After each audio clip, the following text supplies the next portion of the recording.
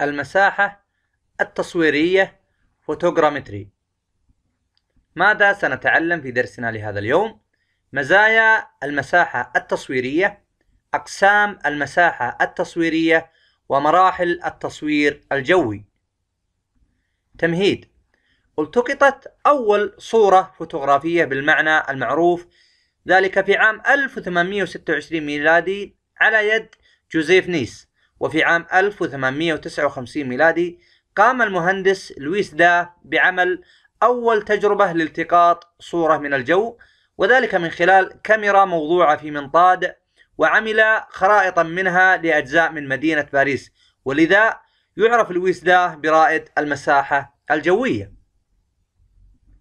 المسح الجوي هو علم وفن تكنولوجيا وهو الحصول على معلومات كمية ونوعية عن المعالم الطبيعية والصناعية لمنطقة ما.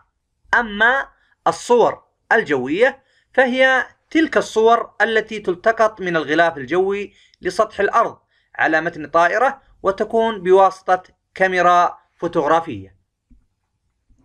مزايا المساحة التصويرية.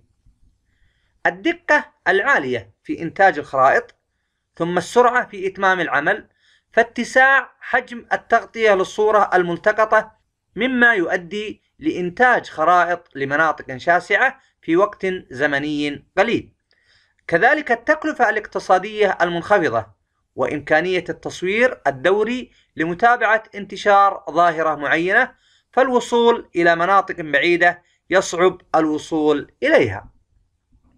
أقسام المساحة التصويرية هناك أقسام لهذه المساحة التصويرية منها واحد الصور الجوية والصور الفضائية.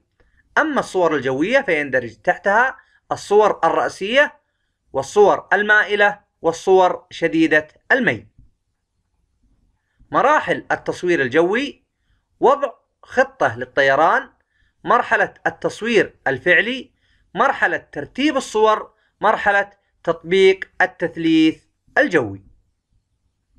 الملخص لدرسنا لهذا اليوم المساحة التصويرية. لدينا مزايا المساحة التصويرية ويندرج تحتها الدقة العالية السرعة اتساع حجم التغطية التكلفة الاقتصادية المنخفضة والوصول لمناطق صعبة والتصوير الدوري. أما أقسام المساحة التصويرية فهناك الصور الجوية والصور الفضائية. أما مراحل التصوير الجوي فهي وضع خطة للطيران والتصوير الفعلي وترتيب الصور والتثليث الجوي.